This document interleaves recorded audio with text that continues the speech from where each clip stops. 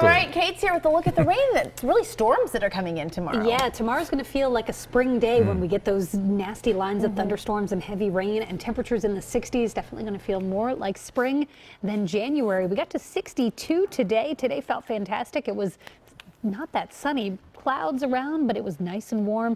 Mother Nature may be an Eagles fan, letting us kind of revel in some nice warm weather. But now it's coming to an end, and here comes some rain. Let's start off though with the time lapse video. We'll start off with today, and you can see the Delaware River, those big ice chunks really starting to melt quickly. Thanks to this nice mild stretch we've had over the past several days, and we had some sunshine peek through the clouds here and there, but on balance, it was a mostly cloudy day, and clouds are still hanging around as showers start to push into central Pennsylvania. This likely not going to get here until early tomorrow morning, but it's going to be a quick hitting and intense system that delivers some pretty steady rainfall and also the threat for a few gusty thunderstorms along this front. So here's the actual cold front right here, blowing up with thunderstorms over portions of central Ohio right now.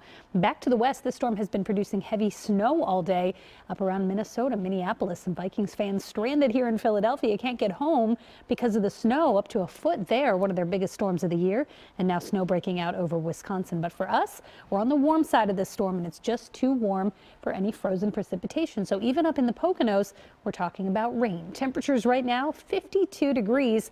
That's more than 10 degrees above what our high should be this time of the year. It's 44 degrees in Wilmington. So timing this out, got some showers moving in by about 4 a.m., but the steadiest of the rain starts to come in around 7, just in time for the morning commute. And we're talking heavy downpours. Look at all this embedded yellow and orange. That's an indication of where the heaviest rain is falling. Here's 10 a.m. and right around Philadelphia, this line comes through between 10 and noon with the threat for some very strong gusty thunderstorms. Damaging winds are a possibility as well as intense downpours. By 2 o'clock, that's mainly off the coast, and we may even be dealing with some sun glare delays for the afternoon commute, so a big change after that. Scattered showers develop after 2 a.m. Widespread heavy showers between 6 and 10, and between 10 and 2 is when that heavy rain comes through with those gusty thunderstorms. Checking out our main models here, anywhere between half an inch to an inch of rain is likely across the area, and your morning commute will be the most impacted with reduced visibility, ponding on the roads, and the threat for sporadic gusty winds when that front comes through. So the first half of tomorrow looks pretty rough. At this time tomorrow, it'll pretty mm, pretty much be over. It'll be quiet, turning colder though, a 20 degree drop in temperature from Tuesday to Wednesday.